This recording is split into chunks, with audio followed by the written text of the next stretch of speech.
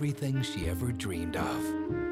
Until one moment took it all away.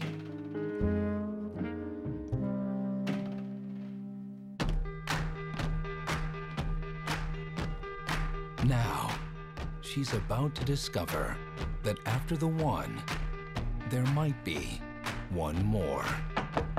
Entrez. Bonjour.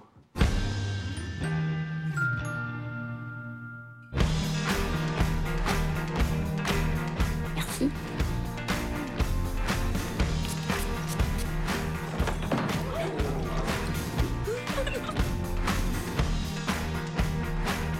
Marcus Oui Mais pourquoi?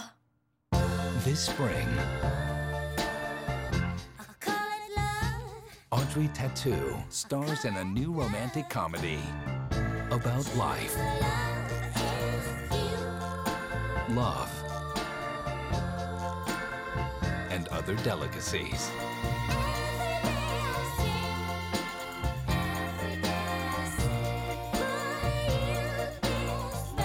Delicacy.